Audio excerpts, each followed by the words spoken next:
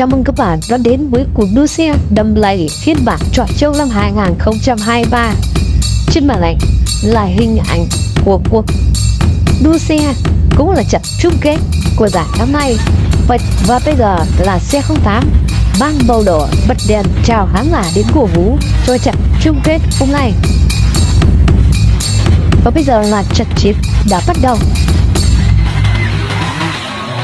như chúng ta quan sát thấy các xe ô tô đang liên tục đưa ra những đòn đánh đối với các đối thủ.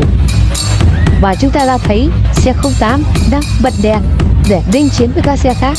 Và vừa rồi đã thể hiện một màn đánh sở trường của mình là những đánh học có nghĩa là lùi xe vào đối phương.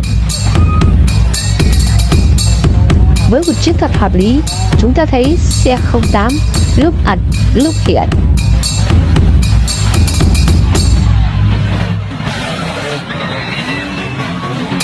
Theo như chúng tôi được biết ở cặp vòng loạt đấu loại, xe 08 liên tục để các xe khác quần thảo lẫn nhau và đuối sức và chủ động đưa ra những miếng đánh xòa chiều của mình là Luisia vào đối thủ.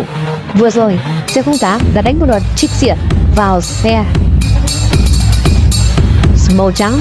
Đó là một chiến thuật thay đổi đã mang lại lại số điểm và xe 08 đã bị xe hồ cáp ra đòn nhưng không trúng đích và đây cũng là một miếng đánh cuối cùng để kết liễu đối thủ. Và giành chiến thắng cũng như giành chức vô địch hai Xin chúc mừng. Xe số 08